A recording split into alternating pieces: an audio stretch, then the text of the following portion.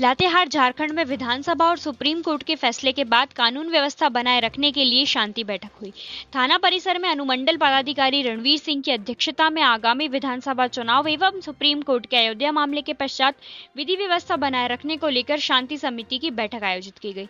श्री सिंह ने उपस्थित जनप्रतिनिधियों एवं बुद्धिजीवी लोगों से आने वाले फैसले में अमन शांति बनाए रखने के लिए अनुरोध किया और कहा कि आज जैसे हम लोग कार्य कर रहे हैं, जैसे जीवन यापन कर रहे हैं, वैसे ही फैसले के बाद भी करेंगे।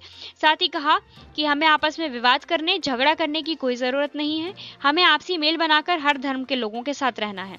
मौके पर उपस्थित इंस्पेक्टर राजेश मंडल ने कहा कि हमें अफवाहों पर ध्यान नहीं देना है। कभी भी किसी सोशल मीडिया में कुछ भी विवादित मामला आता है तो सर्वप्रथम पुलिस को सूचना करें।